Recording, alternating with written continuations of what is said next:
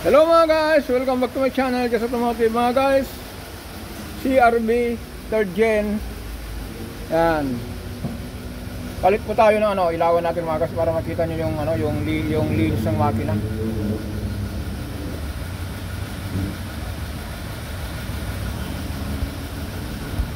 Yon Ang issue nito guys Yung spark plug po nag-o-oil. Dito, apat tapos, yung tagas po ng, yun po, lakas yung tagas, gumagawang pababa. Kita nyo po yan. Yan. Pababa po yan. Hmm. Tapos yung bitek niya, yan. Lakas-tagas po dyan.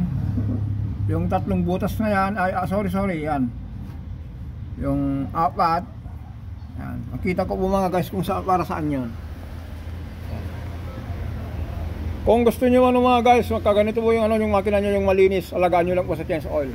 Tapos ang langis niyo mga guys, kung ano lang po yung dapat para sa kanya. Eh, huwag kayong pabago-bago. Minsan gumagamit tayo ng ano, kung ano yung nabalitaan natin, maganda yun nito. Pero pwede naman po yun, basta pares po yung viscosity. Halimbawa po kung ito, 5W30.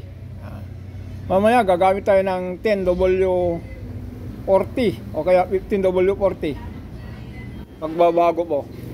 Magre-react po yan ng ano mamumuo ng langis o kaya kakaroon ng ano po yan ng mancha. Pero itong langis niya po yan o ginagamitan niya ng ano ng detergent oil. Dito na naman tayo eh. Ngayon mga guys ulitin natin. Ang issue po nito yung tagas na to. Yan yung gumagapang sa baba ang gagaling sa taas yan. Ito po kasi yung ah uh, cylinder head. Tinatakpan niya ng valve cover gasket. Ito po yun o. Oh. Taran! Yan. Mga guys, kaya nga po ano, nagkaroon ng tagas niyan dahil dito. Hmm. Malutong na po niya no. Punit. Tapos ito, kung pansinin niyo yung gasket. Uh, ano na po ito? Uh, malutong na po. Napuputol na po siya. Ano? Tuloy natin. Kasi po, ito po kasi kung habang umiinit mga guys, ano, oh, masyadong malapit, ano? Kasi maraming nagre-request ng minsan, la lapit daw eh. Yan. Ito guys. Malutong na po ito. Ah. Uh, baluk baluktutin natin yan. Putol yan, oh. Ah, di ba? Malutong. Hindi katulad nitong bago. Ito yung mga guys yung bago. Ah. Tapos yung isa dito sa harapan, ito po yung sa bitik niya. Ito po yung pinanggalingan po ano po. Kung pansinin nyo mga guys, ito po pit-pit na. Kaya po minsan nakikita nyo po na may tagas dito sa kasi po yun, yung una natin pinakita, yon yung yung bitek po, location niya po dito. Ilawan uli natin. Ilaw-ilaw uli. Yon. Dito po siya nakakabit mga guys, sa likod. Dito. Yung kwadrado naman, dito po siya. Ayan. Kung makita nyo mga guys, yung tagas din po niyan, yun din oh. Yung nag-oil na yan, gumagapang po sa baba. Minsan po niyan, kung malala na po, yung belt drive po, nababasa po niyan. Ano, malikot tayo, ano? Yun po yun, ito po yun. Ito yung nasa harap. Ito yung nasa likod. Yan. Tapos, ulitin natin. Mga guys. Itong ano. Itong smart plug, malutong na po yan. Dito po siya. Ulitin natin po kaya nagbabasa yung smart plug minsan. Tapos, nabasa yung ignition coil grounded, kundido na yung ignition coils, kasama na rin yung spark plug. Kasi po mga guys, ang tinakbo nito, 100 plus na po siya.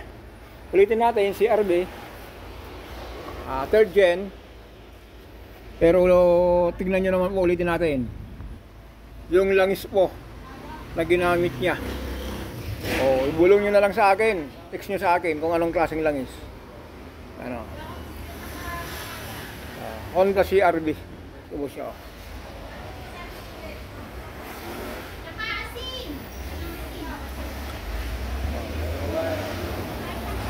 Tapos mga guys, dahil napaliwanag natin yan, yung tagas, kung saan po nang gagaling, ah makabit na natin to, at hindi na natin ano, hindi na natin road test kasi po, ang sunod lang naman natin dito, yung tagas. Ulitin natin mga guys, kung meron po, yung mga second gen na CRV, ah third gen, halos isa lang po ang ano po niyan. Yung second gen kasi mga guys, meron pong power steering, pump, na hydraulic ito po kasi electronic na po ito. Kaya po less ah hassle pagtanggal ng ano ng strainer. Ah strainer ring, ah o-ring at saka yung yan yung VTEC. Yan, yan yung malakas na tagas, isa sa pinakamalakas na tagas niya po. Tapos yung valve cover po, yan gumagawang hanggang sa baba. Yan, nakakarating po doon sa ilalim. Kaya lang, yan, hindi andyan pa yung cover niya, hindi pa natin makita.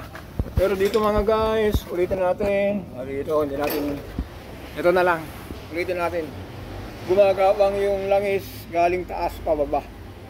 Spaghetti pababa o langis na pababa. Ayun mga guys, ngayon, puntan natin yung ating makina. Ito, oh. yan. Kailangan uli natin. I Yun. Si makina ng 4GX ng mga guys, nabuo na natin. Yung puzzle sa atin to eh. Dumating dito, iway-walay. Pero meron pa tayong mga hindi nakabit kasi wala pa yung mga ibang pyesa na galing Quezon. Halimbawa po ito. Ito po, mga tornilyo ng transmission. Ito po, sa TPS. Hindi pa natin may kabit yan. Sa kanalang kakabit yan kung mapanter tayo. Yan, mga tornilyo po niyan sa mga starter.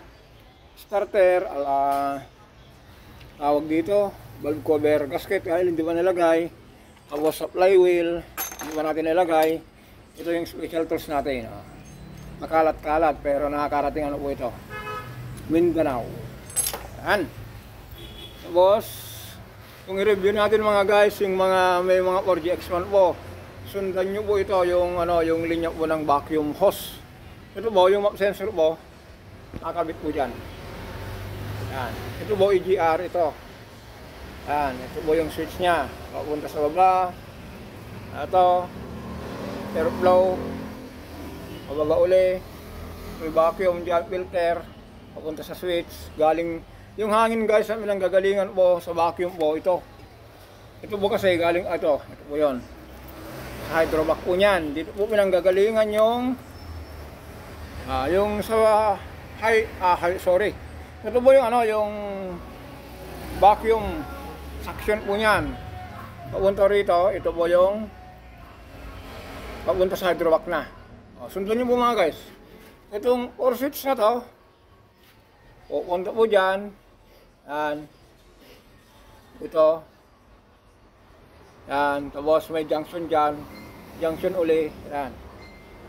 Tapos ito. Ayan. Tapos sabi ko nga po, yung CRB na may tagas yan. Nakatihaya, nag-aantay. Inaantay niya yung makabit. Dito na naman tayo. Pero, next time mga guys, itong ano, itong flywheel. Ulitin natin yung timing po nito. Makita natin uli. Kasi, meron na tayo na-upload dito, yung unang upload na 4GX1. Ah, yung paano yung timing niya rito sa ano, sa yan yung ah timing gear sa harap saka doon sa likod ganun lang po ulitin natin dito na tayo siningit lang po natin to Aninantay lang natin yung ano, yung bomba ng langis kasi yung problema nito mga guys, yung bomba ng langis. Yung nagpadala ng makina, hindi niya na-check na kulang. Kasi yung bomba ng langis po ito, ito po 'yon. Kung ito po yung balancer, andito na rin po yung bomba ng langis. Ito po yun, oh, for example po yung kabila po. Ito po, ang sinusuplayan po nito, ito po yan, sorry. Yan. May takip po niyan, ito yung takip niya. Yan. Hindi pa natin kasi may kabit yung flywheel mga guys dahil yun nga po, kulang ng ano yung ang galing dito. Ito po yon.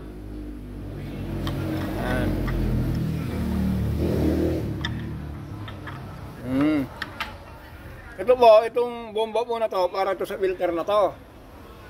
Yan. Tapos yung bomba pong ito para sa dito sa filter na to. Yung malaki. Yung nakalagay dito sa dito yung oil filter sa oil cooler. Okay mga guys, ganun lang po, napakasimple. Kaya nga po marami pa tayong turilyo hindi nakabit.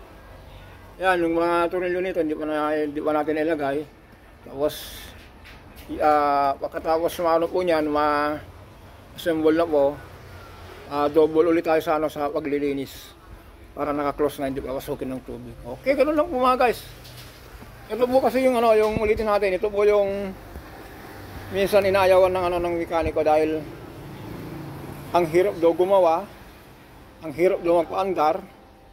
Pero kung kasi nyo mga guys, ibang iba yung disenyo itong isuso na to kaysa yung mga ibang isus, uh, sasakyan. Biruin nyo ba, ang injector po nito nakababad sa langis, pati yung wire. O, ibig sabihin po nito, yung gumawa po nito, napaka ano yan, napakatalino. Pinag-aralan niya ng gusto. Nilagyan niya ng ano, ng oil resistant, heat resistant, lahat po niyan. Kaya wag natin sabihin ang Isuzu 4GX1 mahina. Ang minsan ang mahina tayo, mga mekaniko. Okay mga guys, hanggang dito na lang po tayo. Don't forget to subscribe, hmm, like and share. Maraming salamat.